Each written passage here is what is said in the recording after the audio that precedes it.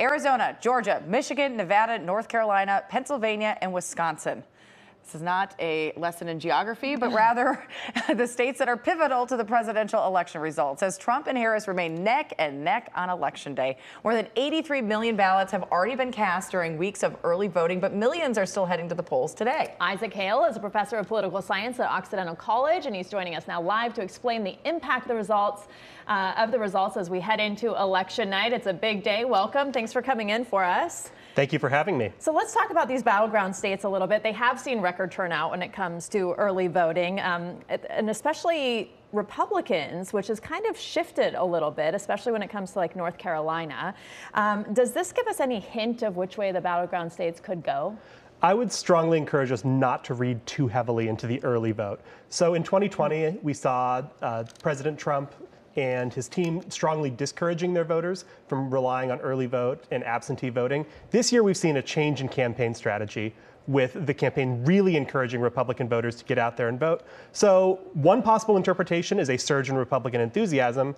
The other interpretation is that the election day vote is being cannibalized. And so, we really just won't know until we see the results come in uh, whether this early vote total means anything. Mm-hmm. Isn't that kind of the problem with some of these polls we're yeah. seeing? Is like you can really interpret them on, in so many different ways. Yes, and I think the early vote is particularly dangerous to read the tea leaves on. Okay, well, let's talk about um, some of the recent elections when it comes to the blue wall. You've got Pennsylvania, Michigan, Wisconsin.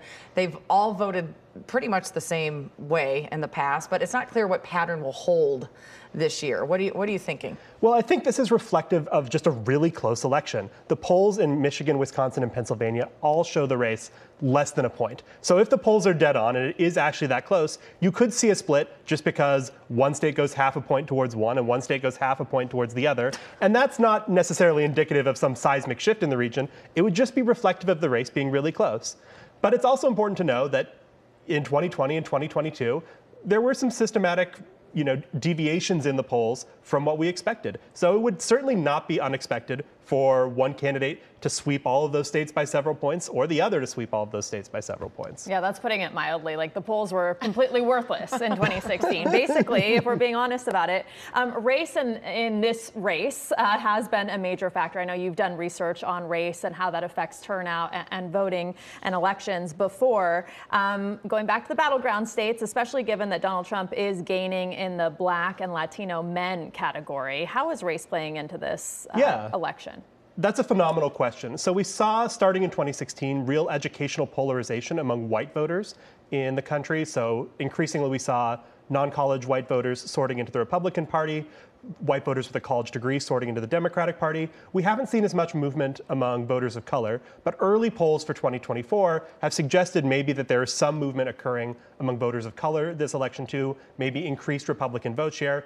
Harris still winning, winning those groups handily, but maybe some movement there and an increased movement of white voters with a college degree into the Democratic Party.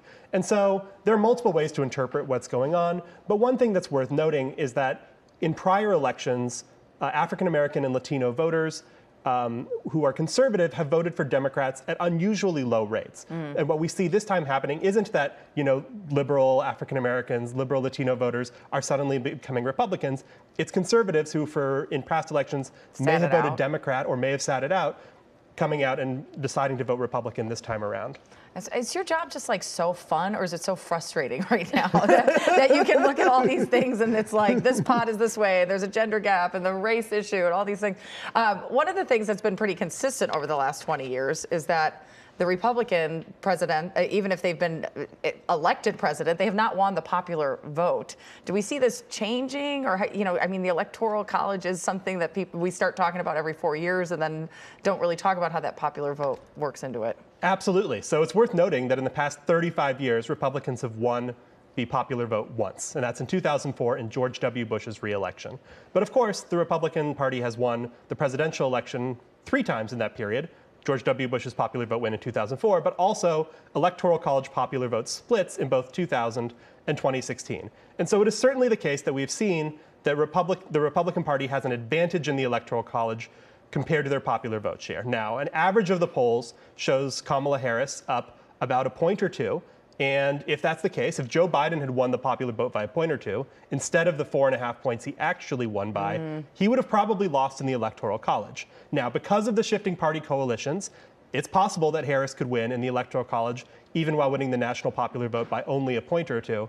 But it is certainly the case that the Electoral College continues to have an outsized impact on who wins. We don't have a national popular vote for president, so it would not be unheard of, certainly considering what we saw in 2016, for another Trump victory while losing the national popular vote. My head is I spinning. know. uh, Professor Isaac Hale, thank you so much. We hope to see you again. Maybe you can break it down for us uh, after the fact. Thank you for having me.